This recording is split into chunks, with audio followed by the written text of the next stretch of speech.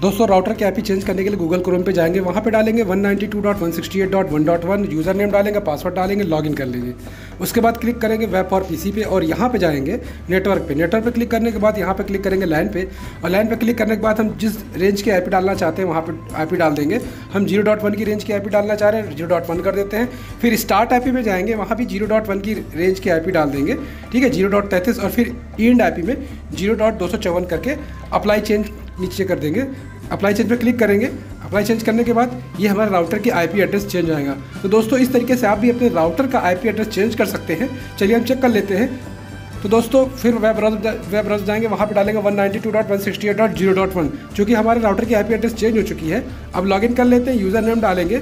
उसके बाद राउटर का पासवर्ड डाल के चेक कर लेंगे, ठीक है? तो दोस्तों, हमारा राउटर का जो आईपी एड्रेस है, वो लैन आईपी एड्रेस चेंज हो चुका है। वीडियो देखने के लिए धन्यवाद।